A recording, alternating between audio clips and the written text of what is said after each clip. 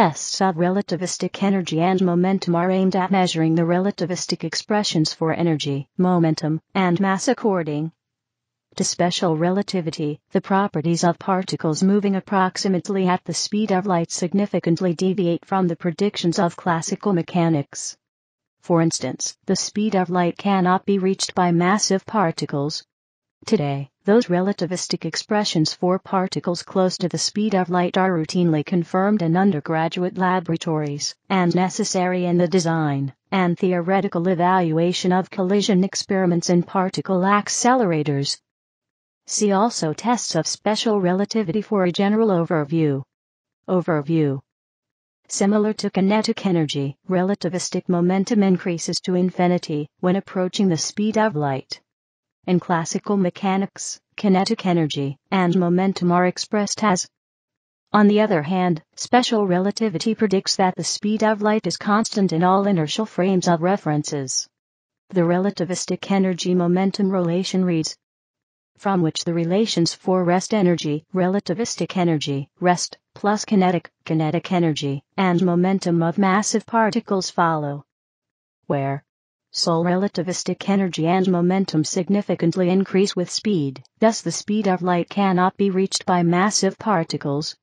In some relativity textbooks, the so-called relativistic mass is used as well.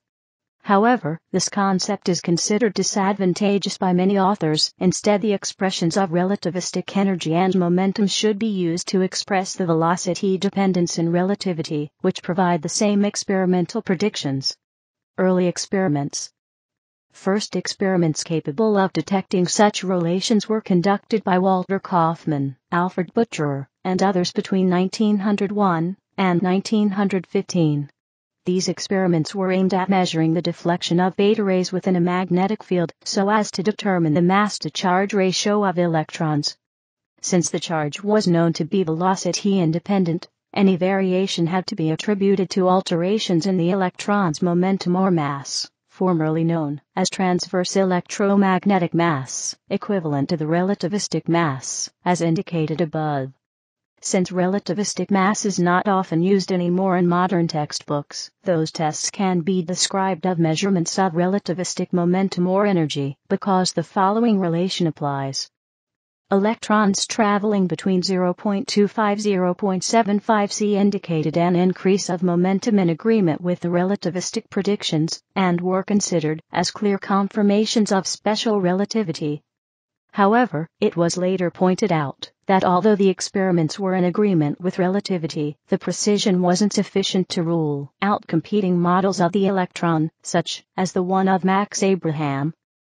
Already in 1915, however, Arnold Sommerfeld was able to derive the fine structure of hydrogen-like spectra by using the relativistic expressions for momentum and energy in the context of the Bohr-Sommerfeld theory.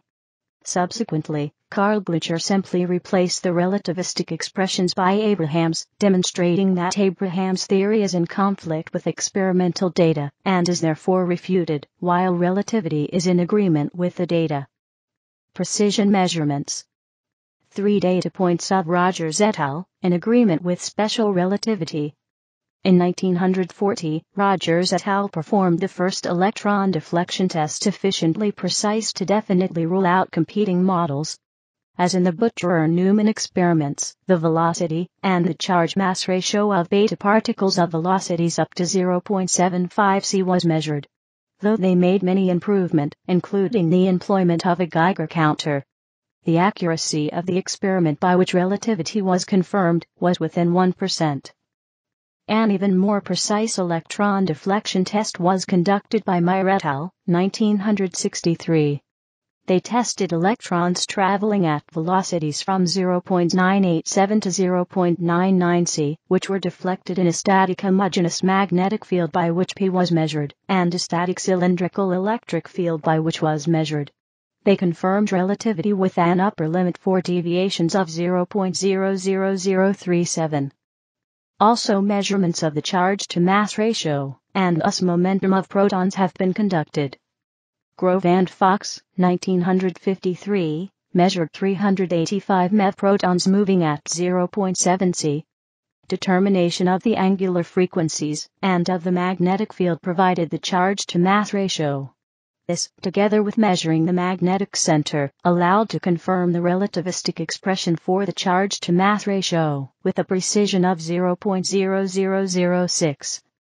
However, Zrelov et al. 1958 criticized the scant information given by Grove and Fox, emphasizing the difficulty of such measurements due to the complex motion of the protons.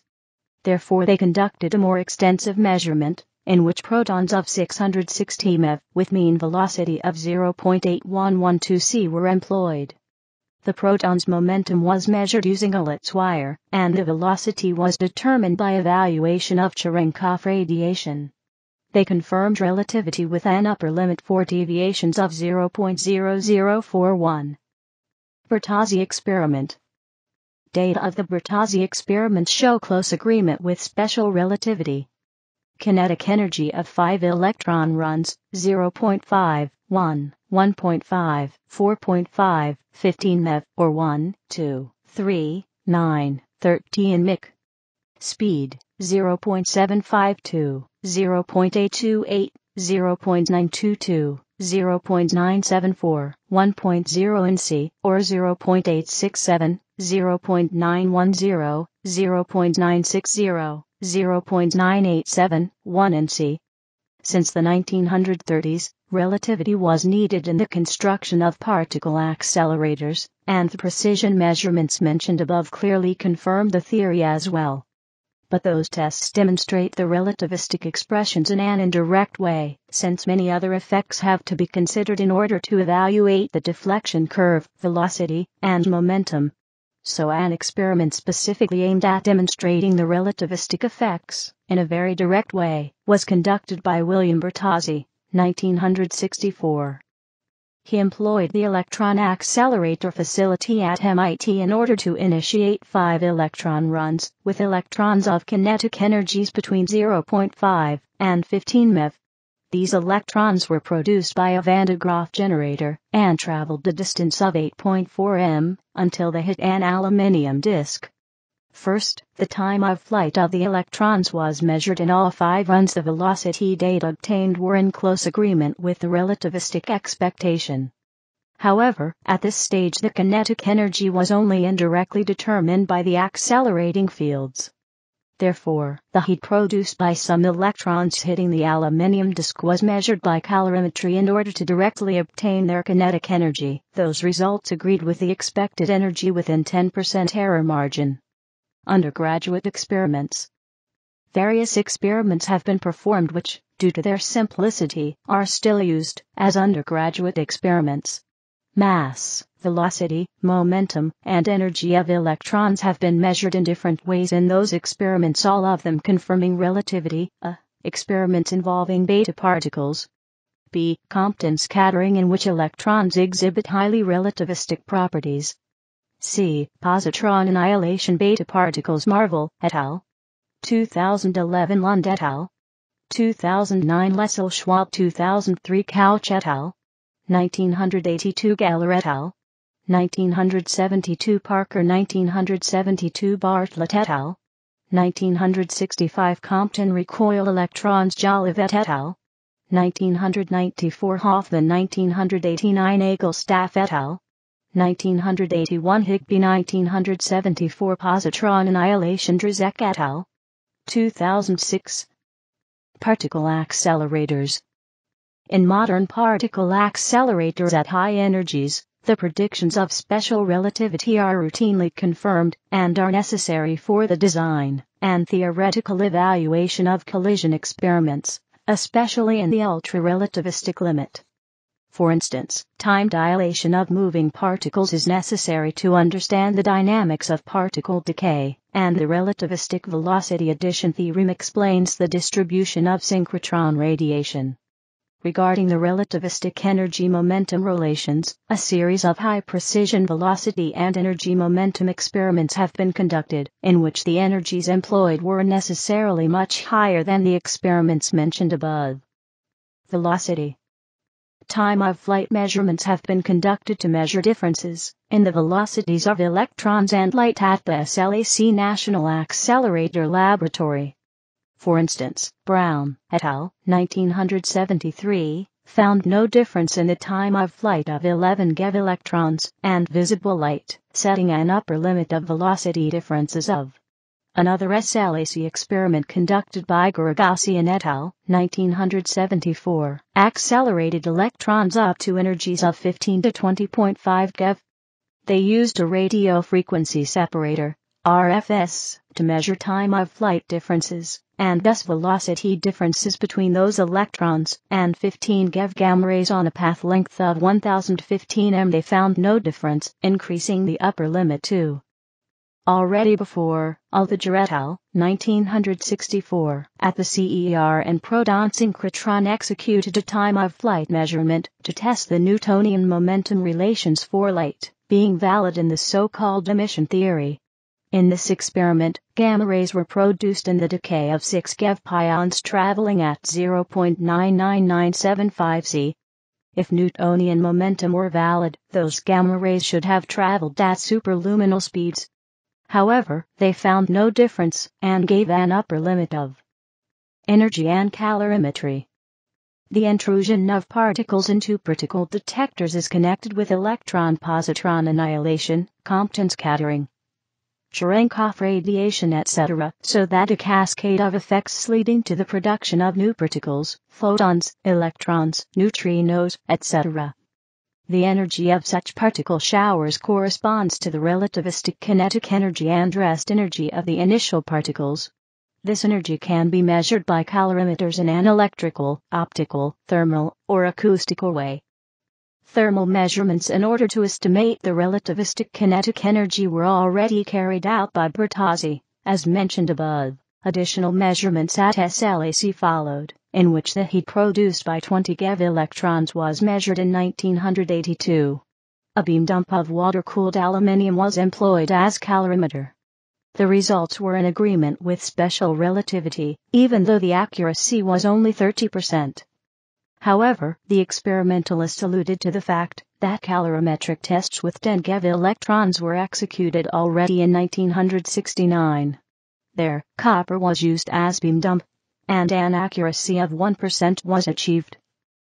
In modern calorimeters called electromagnetic or hadronic depending on the interaction, the energy of the particle showers is often measured by the ionization caused by them. Also excitations can arise in scintillators, see scintillation, whereby light is emitted and then measured by a scintillation counter. Cherenkov radiation is measured as well. In all of those methods, the measured energy is proportional to the initial particle energy. Annihilation and pair production. Relativistic energy and momentum can also be measured by studying processes such as annihilation and pair production.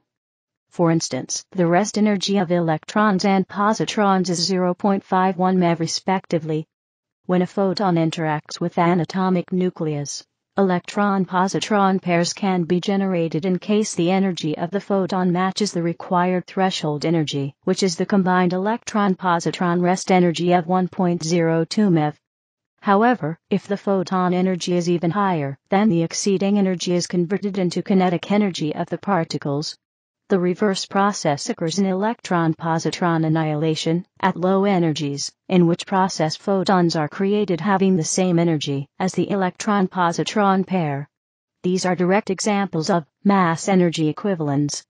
There are also many examples of conversion of relativistic kinetic energy into rest energy. In 1974, SLAC National Accelerator Laboratory accelerated electrons and positrons up to relativistic velocities, so that their relativistic energy, i.e., the sum of their rest energy and kinetic energy, is significantly increased to about 1500 MeV each. When those particles collide, other particles such as the J slash meson of rest energy of about 3000 MeV were produced. Much higher energies were employed at the Large Electron-Positron Collider in 1989, where electrons and positrons were accelerated up to 45 GeV each, in order to produce W and Z bosons of rest energies, between 80 and 91 GeV.